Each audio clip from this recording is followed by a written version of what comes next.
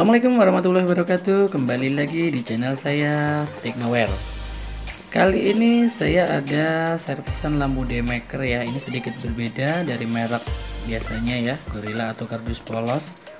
Kali ini dengan merek Wisemic ya Wisemic ya. Ini ukurannya 5 inci. Nah ini di sini keterangannya komplit ya beda dari yang biasanya di sini tertulis chips LED-nya dia pakai Osram. Tegangan kerjanya di 12 sampai 30 volt. Untuk di lampu jarak dekat 30 watt, jarak jauhnya 45 watt, kemudian color temperaturnya 6000 Kelvin sampai 6500 ya. Ukurannya 5,7 inch ya, sama yang kecil. Kemudian di sini diklaim uh, lifetime-nya sampai 50.000 jam. Wow, lumayan ya. Ini nah, kondisinya seperti ini beda sama King Kong ya. Jadi jarak dekatnya seperti ini, kalau jarak jauh dia nyala semuanya. Oke. Sebelum saya lanjut gimana proses servisnya, jangan lupa subscribe channel Technoware dulu ya. Nah, ini setelah berhasil saya buka mika dan lensanya terlihat dalaman komponen di dalamnya ya. Ini lebih simpel ya daripada yang merek Gorilla kemarin ya. Jadi ini ada beberapa dioda 1 2 3 4 5 ini dioda ya. Kemudian pakai tiga MOSFET ini ya. Nanti saya cek dulu komponen mana yang rusak yang harus diganti soalnya ini setelah saya tes ternyata yang mati jarak dekatnya ya. Jadi jarak dekatnya tuh ini. Ini mati. Yang nyala cuma jarak jauh. Jarak jauh tuh 1 2 3 ini ya. Oke akan saya cek dulu ya. Jadi kemarin setelah saya cek ternyata yang rusak itu yang pertama adalah MOSFET-nya ya. Jadi MOSFET itu seperti ini.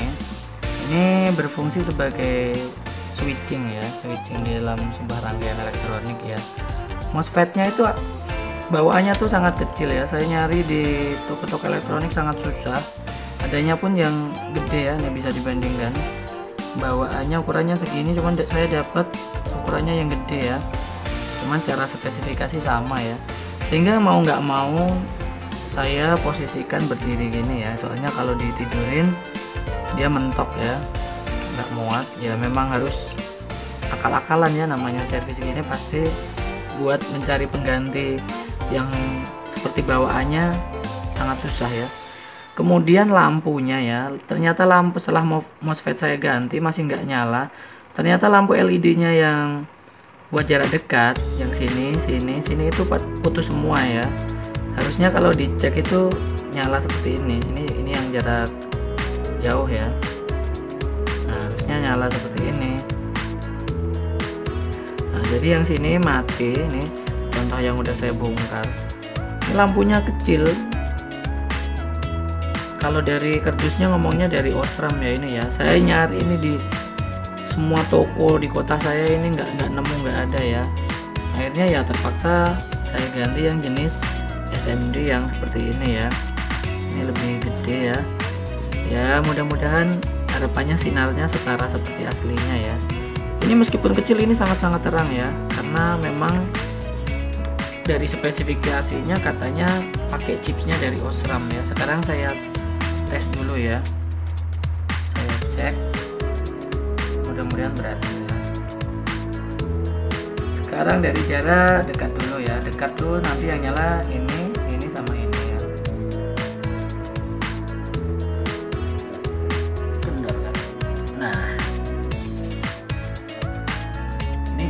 dekatnya ya. Kemudian jarak jauhnya nanti ini ikut nyala. Nah bisa dibandingkan ya. Ini lampu sekecil ini tapi lebih terang dibandingkan yang dua ini ya. Ini padahal dua ini cuma satu biji. Tapi ini sangat-sangat terang ya. Ya tapi berhubung nyari spare partnya saya nggak nemu ya. Soalnya nyari pengganti LED itu gampang-gampang susah ya kadang ada yang secara voltase voltnya sama tapi wattnya kegedean. Ada yang wattnya sama tapi voltasenya nggak sesuai. Jadi ya memang e, harus kita sesuaikan ya. Ya pasti efeknya hasil sinar yang dihasilkan eh, nggak e, bisa sama persis ketika lampu masih original aslinya sebelum rusak ya. Ya minimal bisa kita perbaiki lampu ini bisa kita pakai lagi ya udah selesai servisnya saya tinggal rapikan nanti kembalikan ke mika-mikanya ke casingnya ya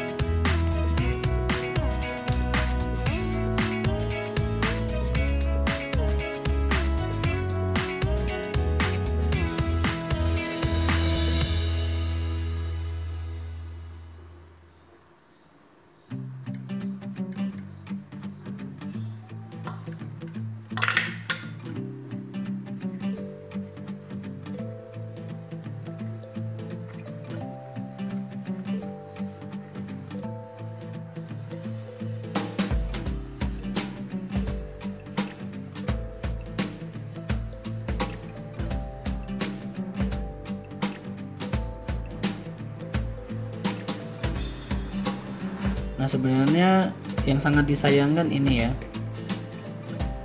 Jadi kisi-kisi dari belakang daymaker ini sebenarnya ada fungsinya ya, yaitu dia heatsink atau pendingin dari komponen yang ada di dalamnya ya.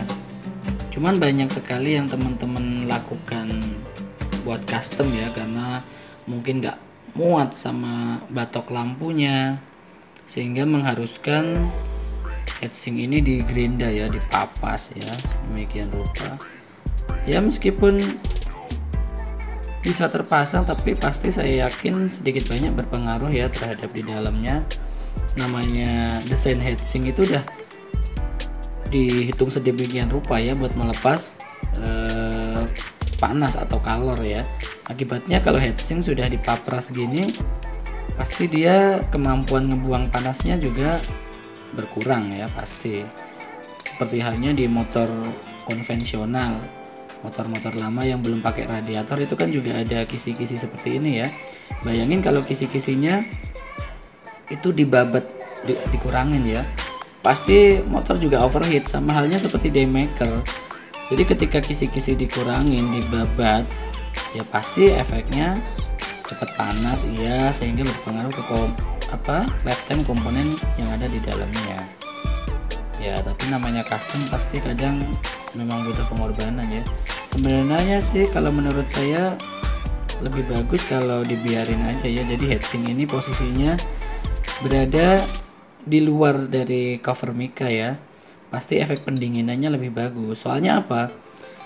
Lampu daymaker itu didesain udah waterproof anti air ya nih sini spesifikasinya tertera ya. Sini ada waterproof level. Nih IP65 ini artinya ini anti air ya. Jadi meskipun ini teman-teman nggak pakai housing lampu ya dia diklaim udah anti air nggak bakal ada air masuk ya.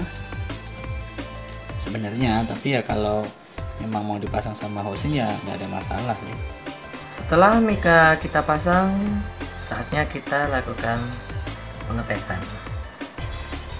Ini lampu dekat ya. Lampu dekatnya sudah nyala kembali. Kemudian lampu jauhnya. Dekat jauh. Di lampu daymaker kali ini simple ya. Dia nggak pakai DRL nggak pakai lampu sen ya cukup simpel ya. Demikian servis daymaker yang saya bagikan kali ini. Mudah-mudahan bermanfaat buat teman-teman pecinta daymaker. Jangan lupa subscribe share like dan komen demi perkembangan channel Technoware yang lebih baik. Sekian dari saya semoga bermanfaat. Wassalamualaikum warahmatullahi wabarakatuh. Salam Technoware